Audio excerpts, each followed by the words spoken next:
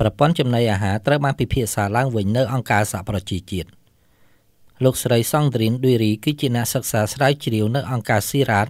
អង្គការបារាំងនៃការសិក្សាស្រាវជ្រាវសេដ្ឋសាស្ត្រនិងកិច្ចសហប្រតិបត្តិការអន្តរជាតិដើម្បីការអភិវឌ្ឍដោយចីរភាពនៃតំបន់ត្រូពិចនិងមេឌីទែរ៉ាណេ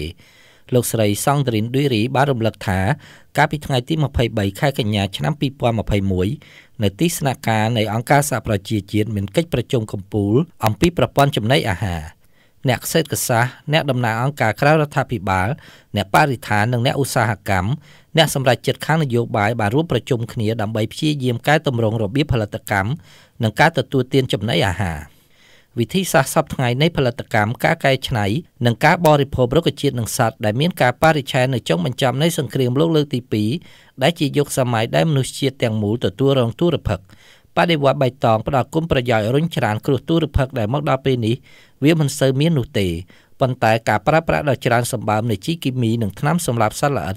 ការបំផ្លិចបំផ្លាញដ៏ធ្ងន់ធ្ងរនៃមជ្ឈដ្ឋានធម្មជាតិនិងការរត់ប្រណាំងជ្រុលហួសហេតុខាងផលិតកម្មដែលជានិច្ចការកាន់តែធំឡើង បានកើតឡើងដែលសឹងតែធ្វើឲ្យផែនដីលែងទ្រាំទ្ររួច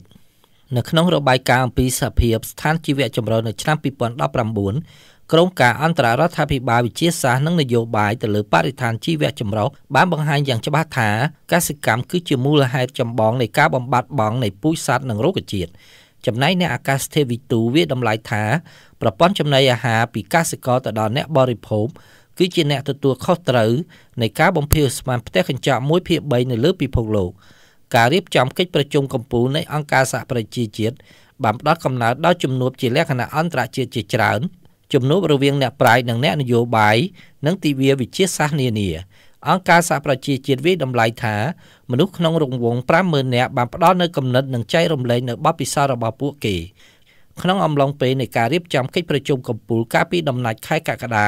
ដំណោះស្រាយច្រើនជាង2000ត្រូវបានស្រាវឡើងដំណោះស្រាយទាំងនេះត្រូវបានប្រមូលផ្ដុំជាសម្ព័ន្ធសកម្មភាពមានជាអាចការធ្វើកសិកម្មដោយគោរពបរិស្ថាន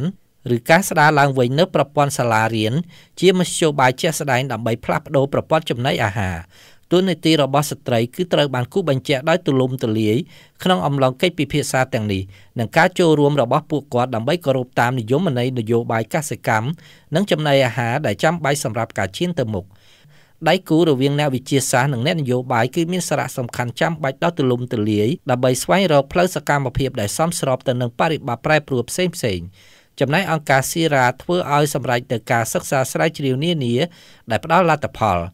អង្គការបានពិចារណាទៅកាន់ទម្រង់នៃគុណភាពដែលមានដូចជាសុចនាករខាងភូមិសាស្ត្រឬការធានាដោយប្រព័ន្ធចូលរួមដែលផ្ដល់ឲ្យកាន់តែស្វ័យយ័តនិងទំនួលខុសត្រូវសម្រាប់សហគមន៍នៃផលិតករនិងដែលអភិវឌ្ឍគ្រប់កន្លែងនៅក្នុងពិភពលោកនិងបង្កើតទំនាក់ទំនងថ្មីរវាងអ្នកបរិភោគនិងអ្នកផលិត។អ្នកតំណាងទីក្រុងទាំងឡាយក៏បានជួបប្រជុំគ្នានៅក្នុងកតិកាសញ្ញាមីឡង់ដែលធ្វើឲ្យលេចឡើងនៅការធ្វើកសិកម្មនៅជុំវិញទីក្រុង កសិកម្មដែលគោរពបរិស្ថាន ដែលអាចផ្គត់ផ្គង់ដល់ទីផ្សារនិងការស្ដារឡើងវិញជាសហគមន៍មានជាអាចនៅមជ្ឈដ្ឋានសាលារៀនជាដើម